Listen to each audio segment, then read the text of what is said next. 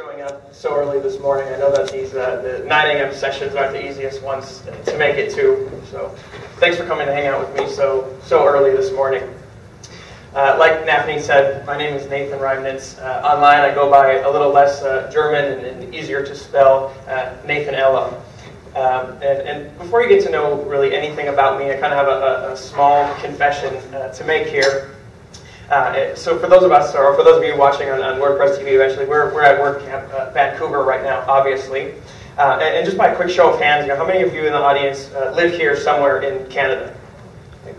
Sure, just about everybody, exactly as I expected.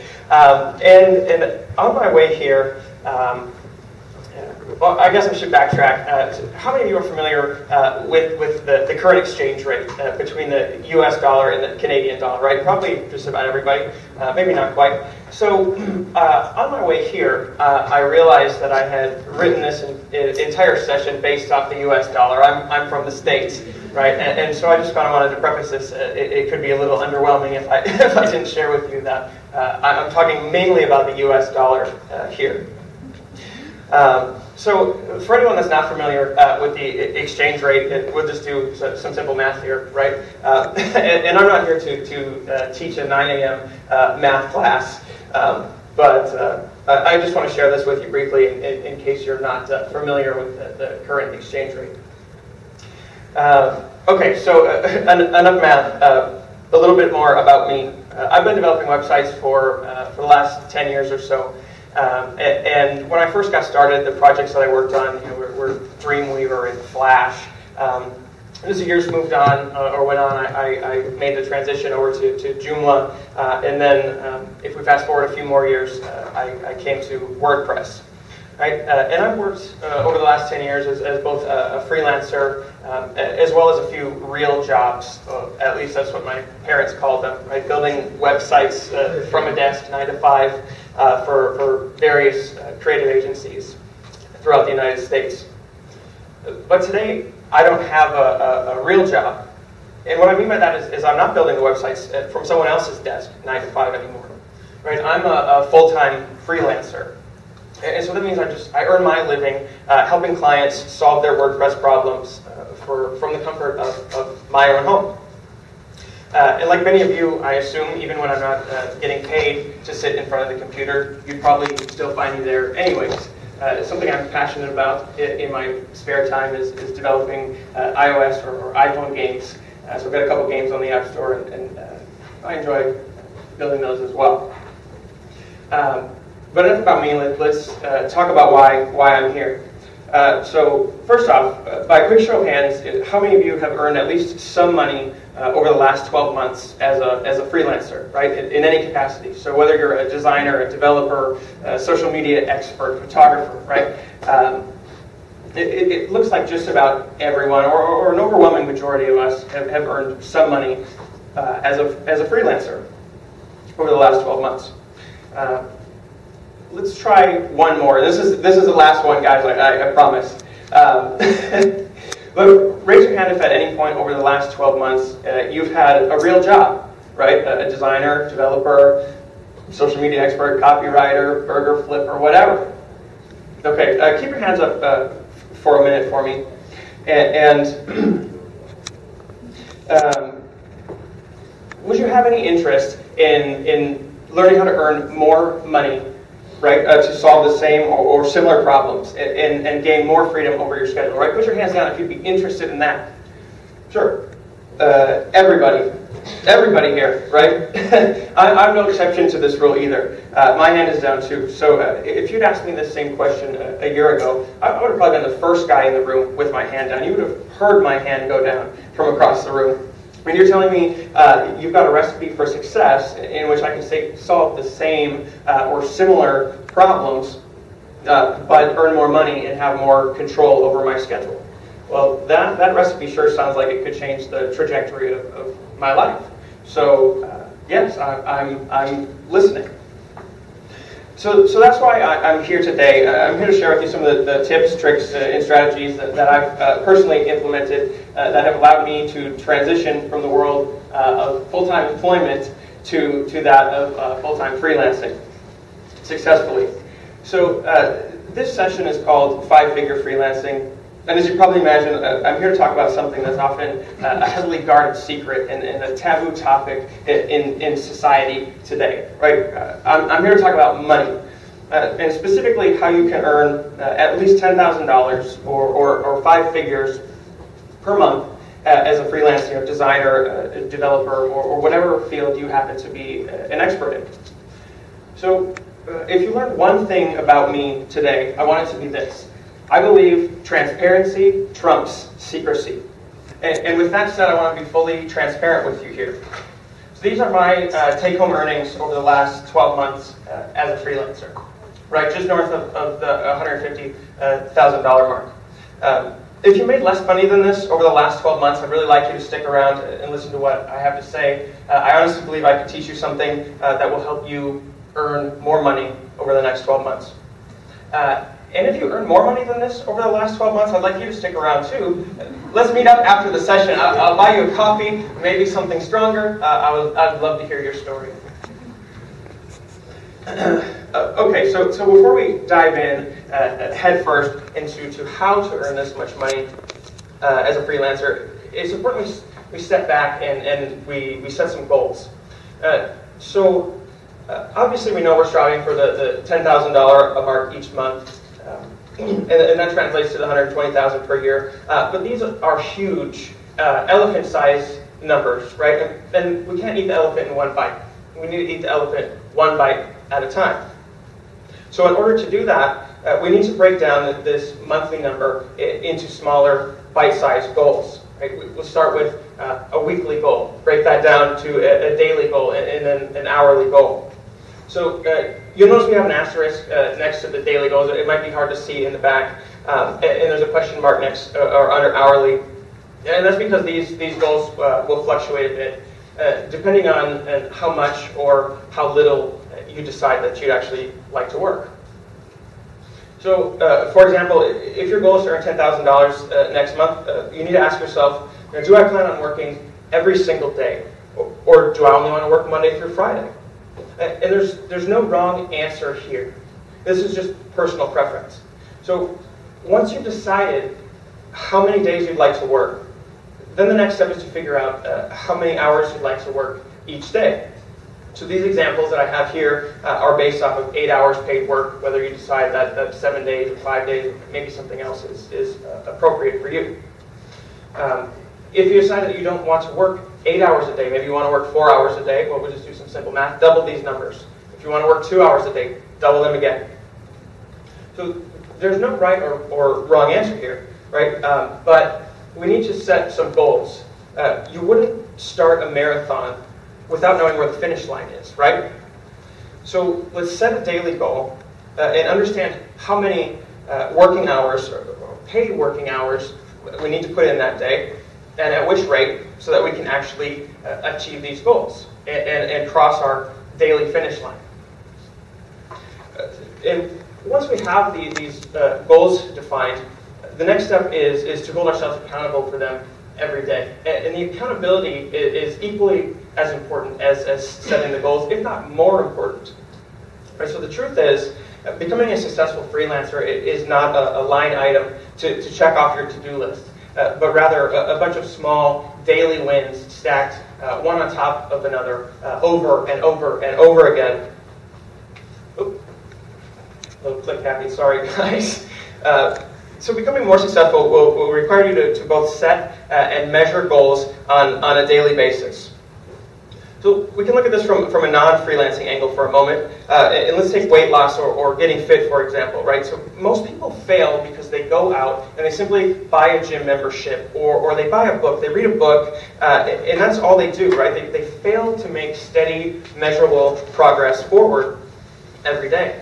And since they're not tracking their personal progress on, on a daily basis and, and holding themselves accountable, they start looking for the confirmation in the mirror. And when they don't see it, they just give up. They, they throw in the towel. So there's, there's no magic pill or magic powder that's just magically going to give us this, this overnight success. And it's true whether you're looking to get fit or, or grow your freelancing business. So until you have a plan and a system to hold yourself accountable, you won't be any more productive and you won't be any more profitable. Right? The good news here is that the, the personal accountability system doesn't have to be time consuming or, or stressful. Uh, personally, my, my uh, accountability system doesn't take me more than a, a few seconds each day. I've created a few uh, simple spreadsheets to, to track my progress, uh, and I'd, I'd, encourage you to do the same as well. So this is, this is what the, spreadsheets look like. It might be tough to see in the back. Um, but I'm tracking just a few simple metrics. I've got uh, the date that the project was open, so that's the client's down payment, who the client actually is, uh, what their final payment date uh, was, uh, what that total payment uh, amount was, where this lead came from, uh, and, and or the referral source, where the lead came from. So it's not enough to simply set these goals. We have to we have to measure them and hold ourselves accountable. Uh, let me backtrack and explain. These are two uh, separate spreadsheets. Uh, so I have my daily progress, uh, which, which then uh, in the bottom left you see is compounded into weekly statistics, and then the weekly is brought over into these monthly, quarterly, and, and, and, yearly stats. And I would encourage all of you to, to create a simple spreadsheet like this. if you add the, the data to this on a project-by-project basis, it, it really only takes you a few seconds. Okay, so like I said, it's not uh, enough to just simply set goals. We must also measure them and, and hold ourselves accountable. So I knew going in, into my uh, freelance career that I wanted to earn uh, $100,000 per year, which meant I needed to bring home, uh, for the sake of round numbers, 275 bucks a day. Uh, and, and here's how I did uh, over the last 12 months.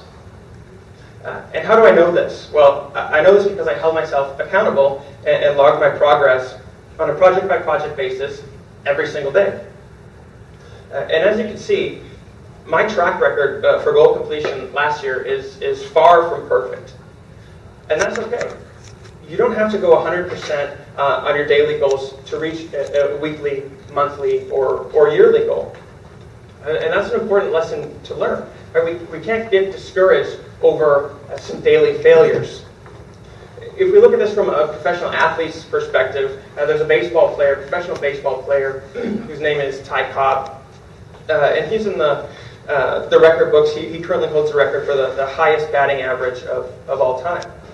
But his batting average is far from perfect. He, he's just over one third. He's got a .366. So, you know, over his career, he had a, a little over 11,000 at bats, but only ended up with you know 4,000 uh, in change hits. And I'd imagine every time you know Ty stepped up to the plate, he told himself, "I'm going to get a hit. I'm going to get on base." Um, but just like our daily goals in freelancing, it didn't always work out that way for him. So don't don't get discouraged. Uh, just because you don't meet a, a, daily goal doesn't mean you won't meet the weekly goal. And, and if you miss a weekly goal, it doesn't mean you can't hit a monthly goal. And even if you miss a few of your monthly goals, you can still hit your yearly goal right? And, and I'm living proof of this. These, these are literally the statistics from last year uh, of, of my uh, goal completion. Uh, the swings in, in this goal completion uh, represent swings in income as well. Uh, so income as a freelancer is, is uh, a bit of a roller coaster. You know, on a day-to-day -day basis, it's, it's fairly inconsistent. Uh, and the numbers at the bottom of this slide, which uh, I guess purple is quite hard to see on this, um, they represent the, the very best and worst uh, income swings for me. So uh, my worst day uh, produced zero income. That's obvious, right? I mean, we, wouldn't expect to, to, earn some money every single day uh, as a freelancer. but what you don't see here is, is those zero dollar days actually happened for me 108 times over the past 12 months. Uh, if you think about it, it, that's about equal to having a real job, you know, with, with uh, weekends off and, and holidays off.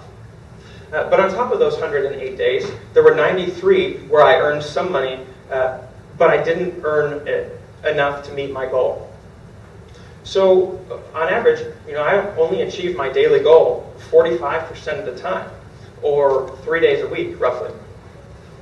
Uh, on the other end of the spectrum, uh, which you'd see under the daily. Uh, this was on July 21st. I brought home uh, a little bit uh, north of the $3,000 mark.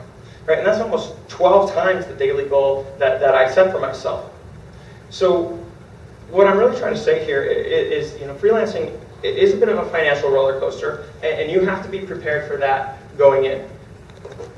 Uh, if you're wondering at this point, hey, how, how did you make 3,200 bucks in, in, in one day if you only charge 100 bucks an hour and there's only 24 hours in a day? Uh, well, that, that answer is simple. Uh, sometimes you, you complete projects uh, for clients uh, and they take a few days to, to sign off or to, to give you your final payment. So on July 21st, uh, that happened uh, six times. I had six clients sign off on projects within one day. So no cheat codes there. Uh, if we move to the weekly stats uh, quick, I've met uh, my goals 31 times out of, of uh, 52 weeks. Uh, unfortunately, I can't say the same for the other 21. Uh, well, I never had a zero dollar week. there was one week where, where I managed to earn just 400 bucks around Christmas and, and, New Year's. Um, and the best week I ever had was, was a little bit north of the $7,000 mark. That was last month, July. So you can see there's, there's quite a difference in, in, in income, uh, even on a weekly basis uh, as a freelancer. Uh, moving on to monthly, I went 10 for 12 there. Uh, my, my worst month was the first month I, I really started taking freelancing seriously. Um, it was about 6,500 bucks. Uh, and, and, then the best month uh, was, was July last month, which was just a little bit over 21,000 bucks. we talked about the yearly numbers a little bit before. So instead of continuing to talk about these numbers, let's, let's dive into how these numbers uh, are, are possible. So the first thing you, need to do to become a successful freelancer is to uh, identify uh, your niche, right? Your area of expertise. So we don't want to be a jack of all trades, uh, master of none. What I mean by that is you can't be an expert at everything. Right? So instead, focus uh, on becoming an expert at one thing. Uh, whether that's design, uh, development, copywriting, photography, social media, uh, something else entirely. Pick one and do it very, very well. Uh, if it takes you more than uh, a few seconds to identify where you fit in here, then it's time that you, you stop and, and sit back and think you know, about exactly what you're doing and, and why. So if you're taking on projects uh, in all of these areas, right, you're taking on uh, projects beyond your primary area of, of expertise, that's going to just cause you some unnecessary uh, and easily avoidable stress. Uh, conversely, as, as an expert in, in just one field, you command a much higher premium uh, for your efficiency and, and effectiveness. So if we go back to uh, the, the, professional athlete uh, analogy from before, right? We, we have Ty Cobb, this, this professional baseball player, and he picked one sport. And, and he did play various positions over his career, uh, but he spent the majority of his, his defensive career in, in the outfield. So his, his micro uh, niches were know, center field and, and right field. And, and, there were also uh, some positions that he didn't play, right? He never played catcher or he never played shortstop uh, not, not a single game in his, his career, right? Uh, so he trusted others uh, to do that. On, uh, on defense, he mastered the outfield. On, on offense, he mastered uh, batting.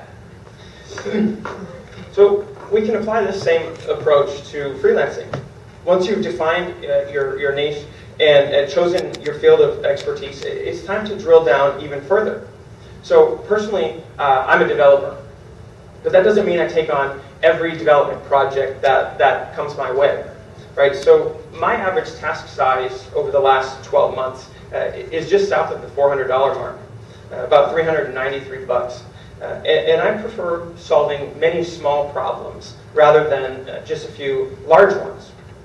So uh, more often than not, the, the projects that I take on uh, are opened and closed within the same day. And Following this strategy has allowed me to close more than 600 tasks uh, for more than 300 clients uh, during my first year as a freelancer. Earning more as a freelancer really revolves around three things. First is, is how many incoming leads can you get? Uh, second is how much do they cost you? And, and third, how quickly can you convert those leads into customers? So the objective uh, is to transition from actively chasing down any leads uh, to responding exclusively to inbound leads. Uh, and our goal is to have as big of a number as possible here in, in, in the first column. In terms of percentages, we're looking for 100%. Uh, Now, obviously, 100% inbound leads could be achieved quite easily just through some paid ads, right? Uh, anybody can do that. But the problem with the paid ads is exactly that. You, you have to pay for them, right? And, and, and the goal for the second uh, column here, how much do they cost, is to have as low of a number as possible. Right? Ideally, we want this to, to cost us nothing, besides maybe a little bit of time to, to actually respond uh, to the leads. That brings us to, to uh, question number three. How quickly can we convert these leads into paying customers? So again, we want to have uh, as low of a number as possible here. Uh, zero is, is probably not realistic, um, but personally, uh, I'm willing to invest somewhere between 5 and, and 15 minutes uh, into a project, depending on the budget and, and the scope that, that you know, was initially submitted. So if, if the scope isn't clear to me uh, after that short time, I always propose a, a one-hour paid consultation. And that'll quickly eliminate any clients that aren't serious uh, about paying for your help. And if you take it from me, this, this strategy does work. It, it certainly doesn't convert at, at 100%. But over the last 12 months, I've been taken up you know, on that, that one hour consultation many, many times. Uh, and more often than not, those consultations, uh, once we clearly define the work, turn into an additional task where, where they then hire me to, to solve the problem that, that uh, I help them identify or uh, to, to scope out. So the bottom line here is, is if you're not offering a paid consultation, you're leaving money on the table. Uh, let's go back to the numbers. Earlier I mentioned I, have uh, closed 600 uh, plus tasks uh, over the last 12 months for 300 uh, unique clients. So the question shouldn't just be how, how do I earn more? But, but specifically, how do you get so many great leads for free? So here's what I did to, to increase my uh, inbound leads. I joined some uh, premium freelancing networks uh, and, and, a few uh, affiliate programs. Uh, we can start with the, the freelancing network first. There's, there's hundreds of these platforms that you can join. And, and, the first thing you need to understand is, is these platforms aren't created equally.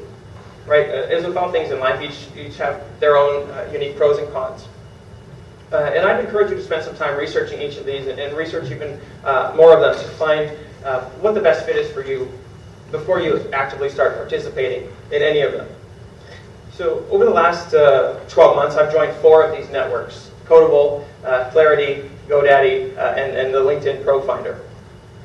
And, and joining these networks in, in combination with, with the organic leads from my own personal portfolio are now providing me with a nearly unlimited stream of, of incoming leads.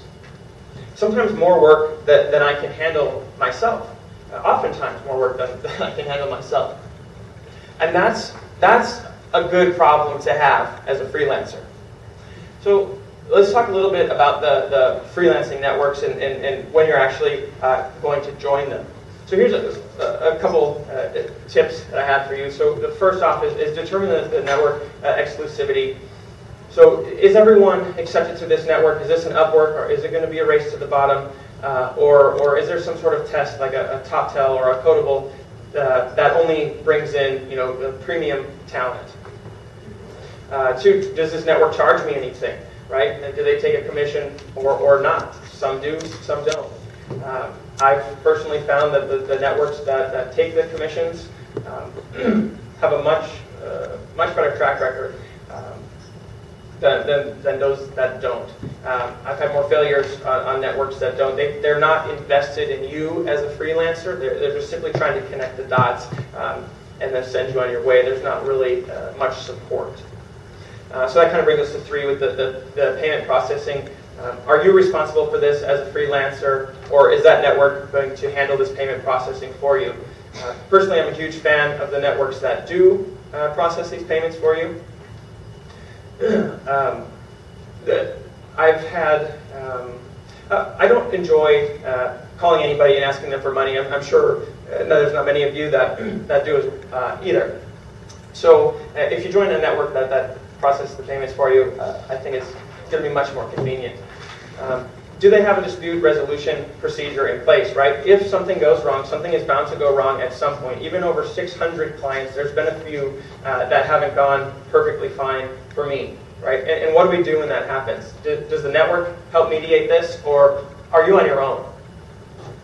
Uh, five, are you working with colleagues or, or, or competitors? In, in, certain networks, they'll build a family, and everybody is willing to help one another, right? And, and on other ones, it's this race to the bottom, and, it's cutthroat. And, those aren't the networks that I enjoy uh, participating in. Uh, so, Codeable, for example, uh, there's about 200 of us in this platform, and, we're all colleagues, we're all friends. We help one another uh, try to grow uh, personally as freelancers. So I'd encourage you to, to try to join networks uh, that will help build you up rather than, than uh, competing with everyone. Uh, six, are there any active member success stories, right? Is there somebody that, that can, can show you uh, how successful they've been on this network and, and, and uh, do you believe them? Uh, on to the affiliate programs. This, this is another nice passive stream of income. Uh, but I think there's certainly uh, right ways and, and wrong ways to, to join these uh, affiliate networks. So I've joined two of these over the last year, uh, and I've done that uh, on purpose. They're the WP Engine referral program and another one called Referoo, which is just used to, to, direct traffic back to, to Codeable. So when you join an affiliate program, do you actively use this product or service already? Right? Would you use it anyway, even if they didn't have an affiliate program? Right? If the answer is no, you probably shouldn't join that one. Uh, two, don't, don't be a spammer. Don't offer uh, your clients unsolicited advice. Not everyone needs that product, right? Just because you're going to make 200 bucks from it doesn't mean they need it, right? Um, three, be transparent with your clients. Let them know, hey, look, I'm an affiliate of, of, of, this company. They scratch my back a little bit when you sign up for them. I've found that oftentimes clients respect me more uh, when I tell them this, and they're, they're glad that they're helping me out as well. Uh, and, and, four is, is uh, a little unrelated, but if you're going to try to send some traffic there from, from your own portfolio, uh, produce some quality content. Don't just, uh, again, spam you know, all the, the WP Engine links uh, or whatever across your blog, right? Deliver an article that that has some substance, that can provide some value to the client rather than just uh, looking to, to pad your own pockets. Uh, if we look at the income distribution uh, curve across these networks, you'll see uh, there's vast differences in, in, in uh, my world. It, so it's, it's important to understand that, that these networks uh, aren't created equally.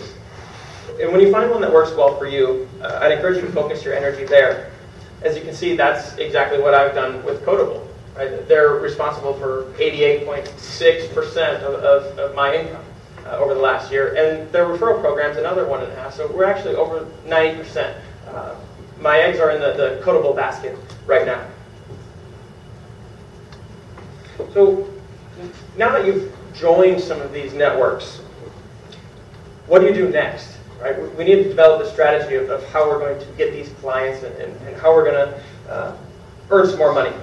So think of these as um, you know, building a systematic approach to, to earning more as, as a freelancer. I think these as guidelines um, and, and, not so much as rules. Um, but one, but before you dive in headfirst into freelancing, make sure you have enough money saved to do this. Right? It, things can go wrong, and, and, and uh, if that happens, if, if you don't have any more clients tomorrow, how long can you pay your bills? Can you keep the lights on for one month? Can you keep the lights on for a year?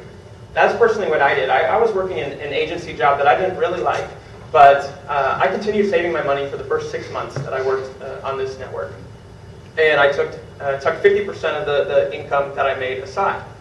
And, and after six months. Uh, there was Number two, build your street cred. Uh, what I mean there is, is, when you join these networks, you'll have uh, a big fat zero on your, your uh, profile, right? How many tasks has uh, Nathan completed? Zero. Well, why should I work with him, right? So my strategy there was, was to communicate with as many clients as possible and to communicate with as, as many small tasks as possible. Right, so I wanted to get these numbers up as quickly as I could because I would see these guys that have 500, 600 tasks completed and they're winning these jobs without hardly having to communicate with these clients. So how can I get there? Well, to build my street cred. Uh, three, once you have a client working with you, uh, retain them. Right, this that's good business. Encourage direct connections. Give them a link directly back to you. Give them your email address, your phone number, whatever, you know, however you prefer to work.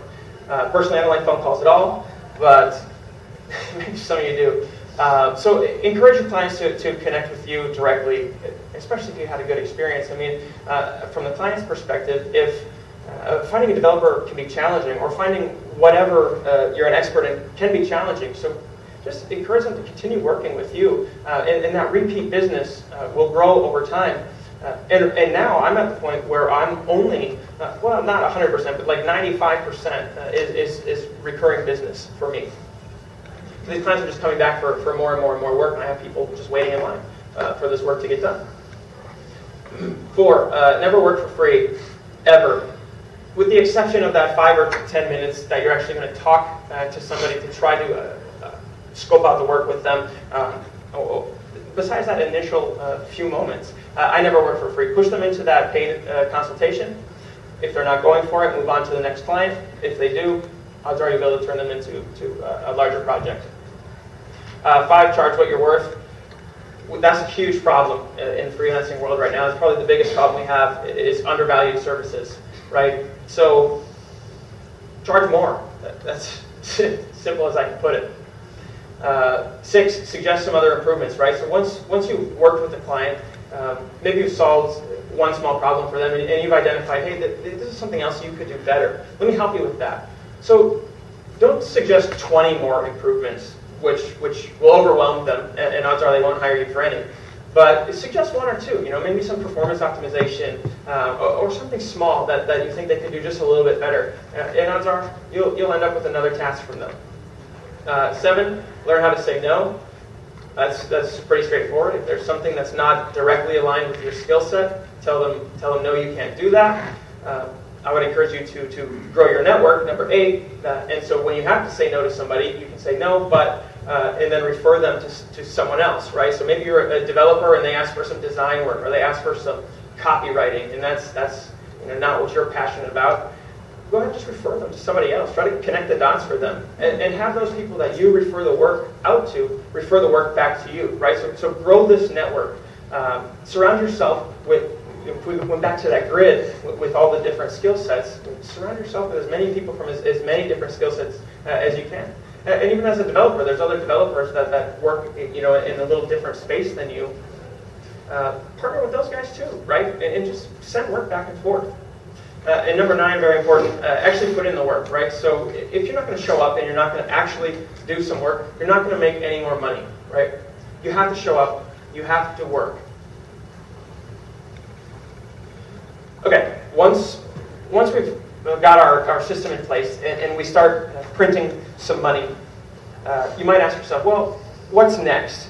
And, and, I'd encourage you to start giving back to, to the community. And there's all sorts of different ways uh, you can do this. And, and these are just uh, a few ideas for you. But, but number one, uh, certainly the least expensive, release some of your code open source. Whether that's a new plugin or, or a theme or, or something else you've created, this is one of the easiest, cheapest ways you can give back to the, the community. Uh, if you're not a developer, maybe number two is more appropriate for you. Volunteer, speak at, at some industry-related events. Right? Share your knowledge with, with others. Share your knowledge with your peers. Uh, again, this doesn't have to be a tremendous expense. You don't need to take two planes uh, for seven hours to come from, from the States to Canada, right? You can just go to a local event. Speak at a local event first. Uh, and third, you can donate some of your time. You can work on projects uh, pro bono. Personally, I, have donated some of my time over the last year uh, to, to an organization that I believe in. They're, they're called the United Heroes League, uh, and they keep uh, military kids in, in sports. So they're providing them with the, the equipment to, to continue playing. So that's something you can do. You can give, you can give some time back. There's, there's really no right or, or wrong way to give back. Just figure out what you're most comfortable with and, and do that. Okay, so let's backtrack uh, just a little bit uh, to that awesome strategy we developed. Uh, in, instead of looking into the future um, and finding ways to, to give back, let's focus on um, actually making the transition into freelancing. Right? So to do that, we need to take this calculated uh, leap of faith. Uh, does anybody know what animal this is? This is a gazelle, right? And if, if you're not familiar with the gazelle, uh, let me be the first to tell you these are some pretty incredible animals. Some of them uh, can reach speeds of, of 60 miles an hour or 100 uh, kilometers an hour. But, but even more impressive uh, than the gazelle's speed is its ability to jump. Right? So, so gazelles use their back legs to, to spring themselves nearly 10 feet into the air, uh, almost uh, three meters, or a little over uh, three meters. Uh, so visualize that. I mean, if you gave a gazelle a basketball, he could pretty much dunk. At full speed, when they jump, they'll land nearly 30 yards from where they took off. I mean, that's a massive jump. They, they could jump across this room. So the image that we see here is a typical gazelle habitat at the zoo. And you notice there's a very, very short fence, right? Three feet, one, one meter tall fence. So why in the world would a zoo enclose an animal with, with the ability to jump so high and, and so far with a fence that's so short? Well, eh, that's because if the gazelle is raised in captivity, it doesn't know it can jump over that fence. Right? So while it could clear that fence threefold, it's never tried. So the moral of this story is you can't do something if you don't try. And you definitely can't do something if you assume, I can't do that. Uh, one of my favorite quotes of all time is, is from Henry Ford, and he says, Whether you think you can or think you can't, you're right. And I, I couldn't agree with him more. So if you're anything like me, you probably grew up with, with some pressure to you know, go to school, uh, get that degree, go get a real job, right? And, and those are the short fences that, that you could easily clear if, if only you tried. So if I can persuade you to do one thing here today, it, it would be to jump. Jump into the world of freelancing and, and never look back. Thank you.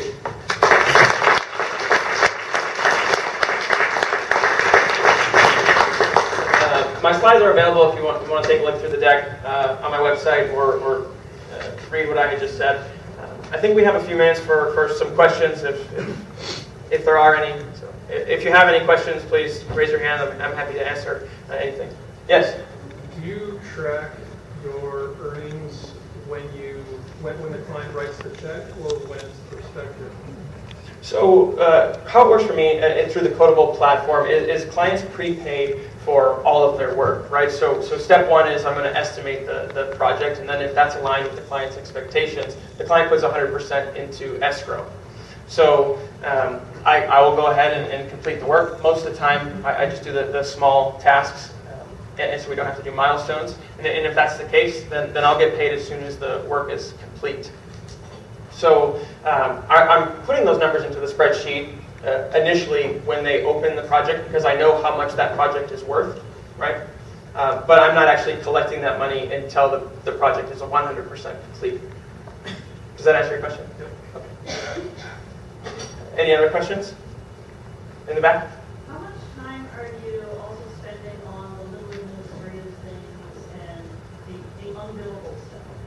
Uh, sure. Can you give me a specific example of, of something unbillable? I mean, I almost try to bill for everything. Well, actually, well, I guess at this point, clients are approaching you, but actually, but you mentioned, you know, the five to ten minutes for pitches. Like, how does how does all that sort of add up? Like, if you're working eight billable hours a day, how much extra time are you actually spending at the computer, putting things in the spreadsheet, sending emails, doing all the little miscellaneous stuff? Sure. Uh, so the, platform that I work for, uh, primarily again Codeable, we have individual workrooms set up for, for each client. So I'm, I'm not really answering any emails at this point. Uh, I mean, I've got all these incoming leads coming into one centralized platform where I'm able to, to manage my communication uh, with the client. So aside from the, the few seconds that it takes me uh, to, to enter my information into the spreadsheet, I, I don't really spend a, a lot of time on, on any of that. And, and I think that was a big difference.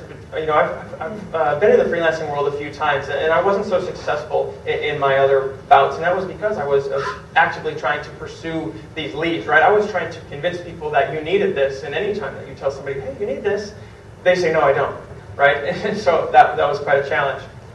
So Um, I would encourage you to join these platforms. Try to uh, get as many incoming leads as you can. You have to remove yourself from that unbillable time, right? We, we have to try to bill every waking minute that we possibly can if we're going to earn this much money as a, as a freelancer. Um, is, that, is that helping at all? I, I think so. I mean, my, my answer is I don't really spend any time or uh, significantly less time than, than most you know, working on, on anything like that. So if I'm not being paid for my time, I don't put my time into it more than just a few minutes. So I try to avoid unpaid phone calls, I mean, anything.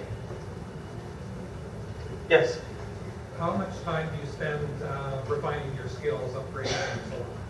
Sure. I, I mean, I've, I've been at this for 10 years, like I said. So uh, I think if you, you started, you know, developing yesterday, then maybe we need to set a little bit more realistic expectation, and, and there's going to be a curve here to ramp up uh, to actually uh, getting to, to this level. Um, but I mean, you have to continue your education uh, every day, right? I mean, if, if we're not moving forwards, we're moving backwards. So I'm, I'm trying to learn something new every day. I, I mean, every opportunity I possibly have. And, and that might be from my colleagues, that might be uh, something that, uh, you know, I, I started with a client and, and I solved one problem, but then uh, they came to me and said, hey, I have this. Maybe I have to learn a little bit more about that, you know, specific uh, widget or, or plugin so that I'm able to solve that problem. So I'm learning every day. Yes. I'm assuming in your 10 years experience, you've probably spent a portion of that where you were doing it all from content strategy. Sure, yeah, absolutely. So could you, could you elaborate more on what happened with your peace of mind and just stress when you went from trying to do it all to specializing? Sure, yeah. I mean, when you specialize, your stress level decreases tremendously. You're not doing anything that you don't want to do anymore, right? So uh, maybe at the start of your career, they're saying, hey, I need this design, and this development, and this copywriting, and you're like, oh my goodness, I don't want to do two-thirds of that, right? And, and, and you kind of are at first, you notice, hey, I'm really stressed, I, I don't like this, and I don't like that, but here's the one piece that when I'm working on this, I am just purely passionate about this. I love developing, and I don't like these other pieces, right? And, and, and so as I've uh, transitioned from trying to be that jack of all trades, master of none, into the master of one, my stress level has decreased tremendously. And, and you know, I've, I've uh, created new relationships with, with designers and, and copywriters and, and, the social media guys. Um, and, and, and they can take on the work that, that I'm not excited about. So I would encourage you to do the same. Build your network. Yes? How important is it to maintain kind of a work-life balance? Um, when Oh, you start freelancing, the money comes in and it's like, oh, I don't have to go to date night, you know, with my partner. I can stay up late and make X amount more. Like, Yeah, yeah. Yeah, uh, and uh, hey, that's a, that's a great question. That's very real. And, and for me, like my background, I didn't come from uh, a wealthy family uh, or anything like that. So once I started uh, earning more money, like that's all I set my sights on, right? And, and there was no work-life balance. It was just work, work, work, work, work. Right? And even on the, the vacation to WordCamp Europe, it was like, well, how many tasks can I get done while I'm over here? Right? And so eventually you, you have to put your foot down and you have to find that, that work-life balance. And I think it's going to take a little bit of time uh, to find it, to ramp up to that. Um, but yeah, that's, that's a great question, and it, it certainly uh, applies to me uh, because I, I put in well more than, than the eight hours initially, and I was putting in seven days a week trying to ramp up to this point. Yes.